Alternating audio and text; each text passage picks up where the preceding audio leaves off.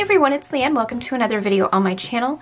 Today I have a huge Copic haul to share with you. You may have seen my video last week where I showed how I purchased Copic markers in Japan. I went there recently on vacation and I bought a slew of Copic markers. So this is what I brought home. It's been sitting on my desk for a few days. I returned earlier this week and I haven't opened this yet and I've been waiting to film this video. I'm super excited. So I just want to do a quick haul and show every marker color that I bought when I went. I had a picture of my Copic chart. I'll pull this out here so you can see. I took a picture of this with my cell phone and then I was able to quickly reference at the store what colors I had and what colors I don't. You can see I need a lot. So this should be a nice uh, chunk out of my chart when I'm done coloring it in. So what I want to do is show you the colors that I bought and color in my chart. And you can see the swatches of all those colors. I bought 85 markers. It came to around 465 Canadian and I saved over $300 by buying them in Japan. So I bought them at Tokyu Hands, which is a big uh, department store chain in Japan. And not all locations carry every color, but some do. I went to the one in Shibuya. It had every color. It had every type of marker, every color of marker, every refill, every paper type, every accessory, anything you could imagine that you would buy for Copic markers was there. I also picked up, this was 300 yen, which is approximately $3 American. And so I picked this up and it's just a spare um, Copic marker. I don't really have a use for this or I'm not sure what I would use this for yet. Maybe if I had a favorite color and I wanted I don't even know. I, I you know what? I don't even, I don't even know, but I thought it was cool and I thought, you know what? I'm just going to uh, throw it in my kit and have it on hand. Maybe I'll have a reason to use it.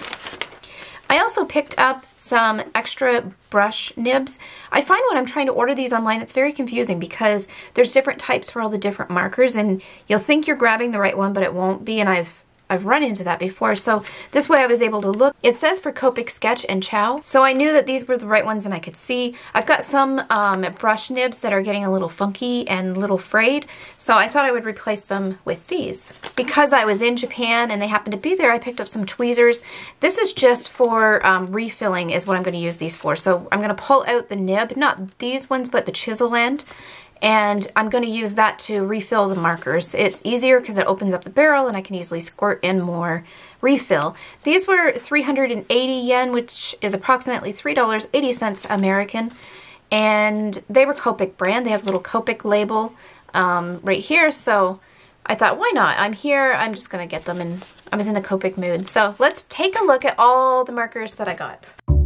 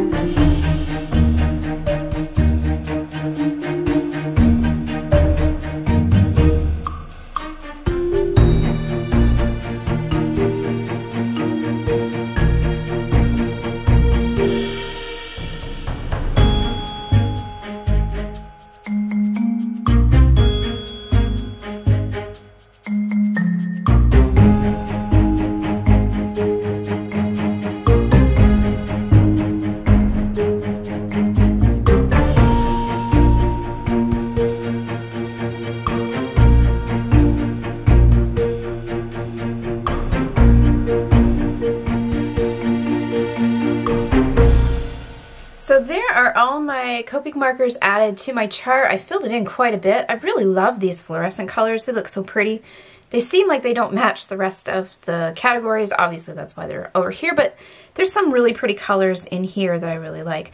Um, I did buy a couple duplicates, if you noticed.